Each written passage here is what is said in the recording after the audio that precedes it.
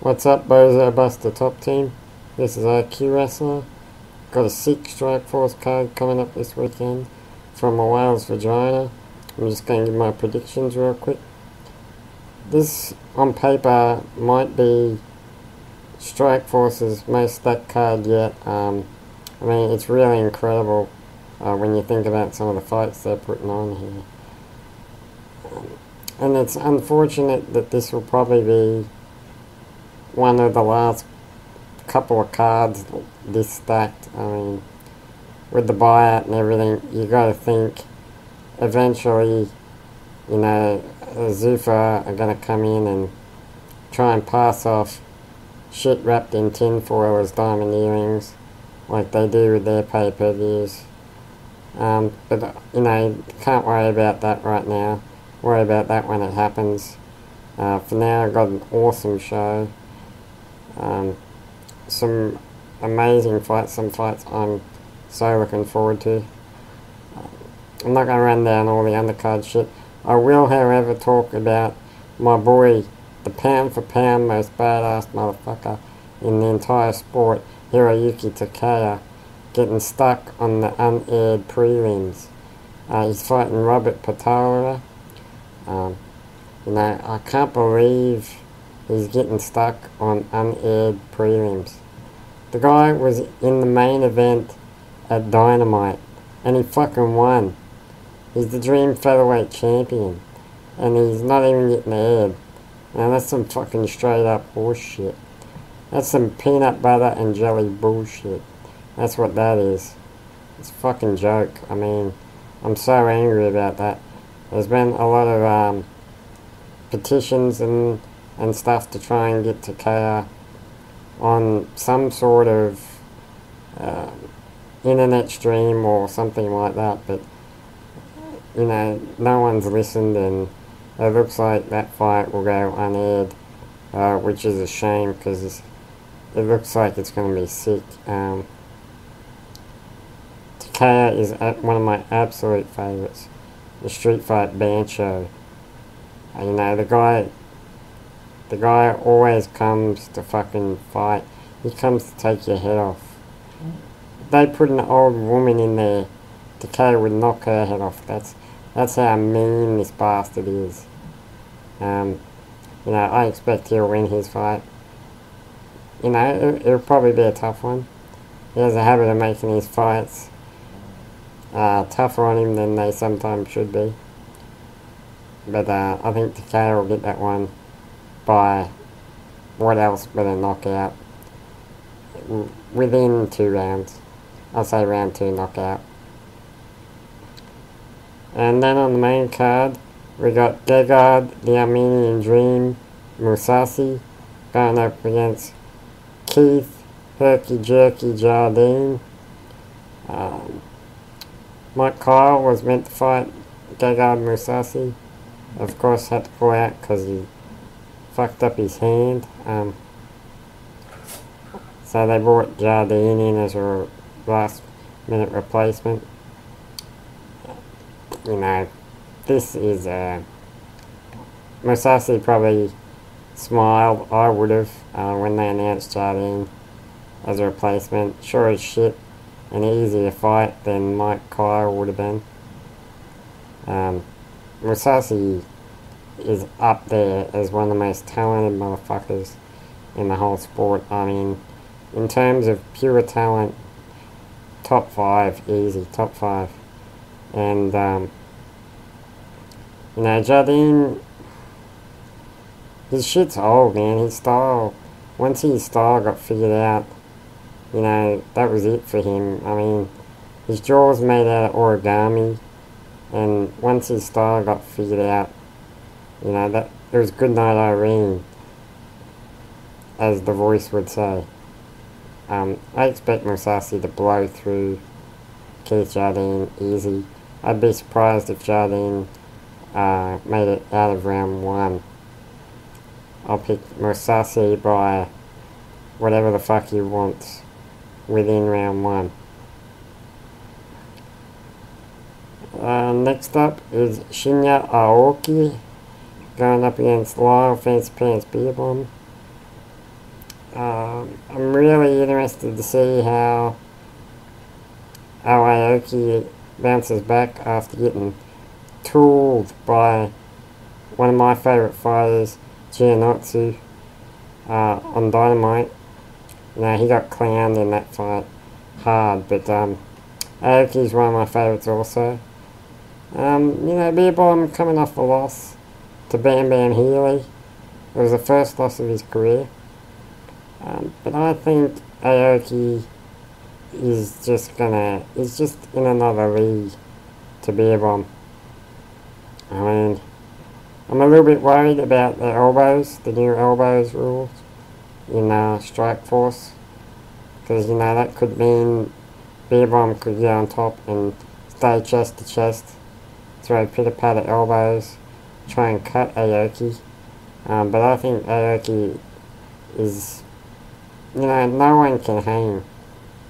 No one can hang with him uh, on the ground, on top or on bottom. You know, uh, I just think um, Aoki, every time he loses, he seems to come back better. The performance after he loses is always one of his best ones. I mean, there was the Gilbert Melendez fight, and then the fight with Kawajiri, uh, which a lot of people thought Kawajiri would win, and Aoki busts out an Achilles lock straight away and wins the fight. Um, so I think Aoki will get this. Uh, submission, of course, what else? But uh, in a round, maybe two. So yeah, I think Aoki will get this pretty easily. Um, Beerbohm isn't on that level yet. And these fancy pants won't be enough to save him. then we got the Strikeforce Lightweight Championship fight.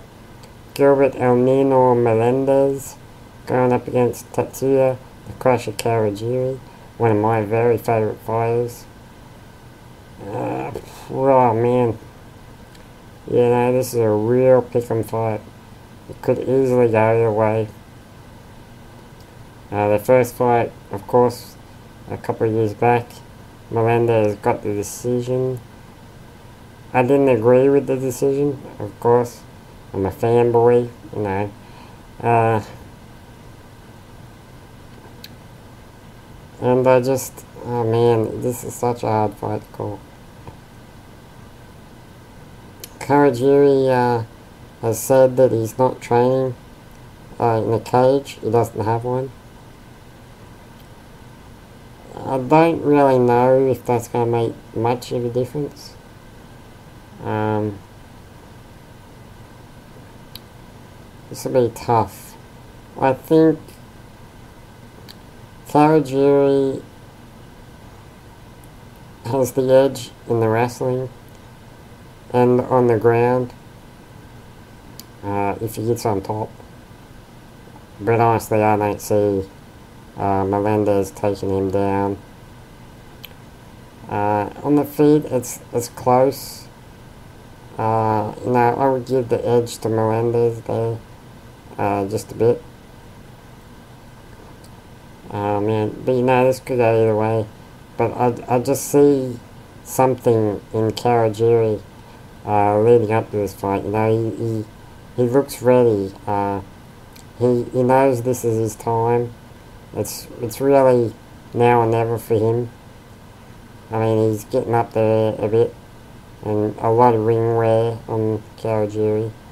Um, but, you know, I see a fire in his eyes. Uh, and he's ready. And his style is made for the cage. I mean, the wrestling style he, he's up there with Miyata uh, on guys who I think could do exceptionally well in the States and in the cage. Um,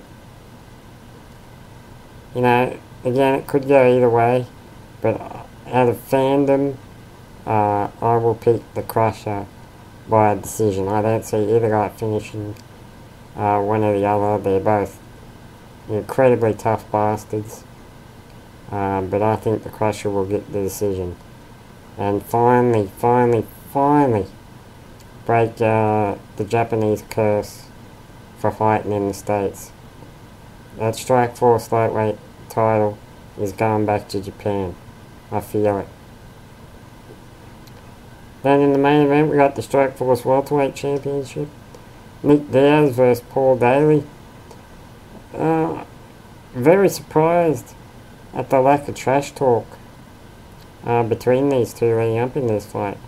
They seem, they seem to respect each other. I mean, I saw Nick Diaz interview with uh, Ariel Helwani, and um, I mean, how can you not love Nick Diaz? I mean, the guy is the realest motherfucker in the sport. I mean, he has no filter. He says what he thinks, and uh, you got to respect the hell out of that. I think, um, geez, man, Paul Daley. I'm gonna tell you what I think. I think Paul Daley brings nothing new to the table. Nothing new to the table for Nick Diaz. I'm a big Semtex fan. Uh, even after he sucker punch cross check and everything. I mean, I love watching the guy fight. Uh, and standing up across his skills. Um, you know, they need no hype or any, they speak for themselves. But I, I think Nick Diaz has just fought so many great strikers. I mean, Domi, KJ Noons, Zaromskis, uh, Cyborg, you know, all these guys. Extremely powerful strikers. And he's just Nick Diaz has just taken everything they've got and still come out on top. I mean, I mean, you can say Paul Daley um, is better than all those guys striking, and that may be so, but the fact remains Nick Diaz has beaten some of the best strikers out there, you know, very easy.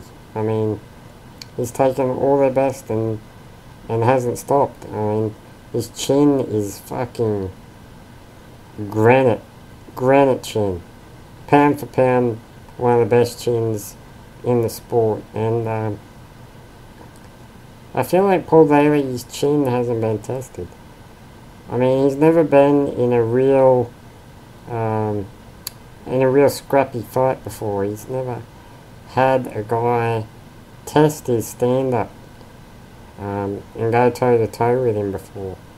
I mean, he's been he's been uh, dominated by grapplers like Koscheck and Jake Shields and all that, but he's never had a guy who'll go toe-to-toe with him.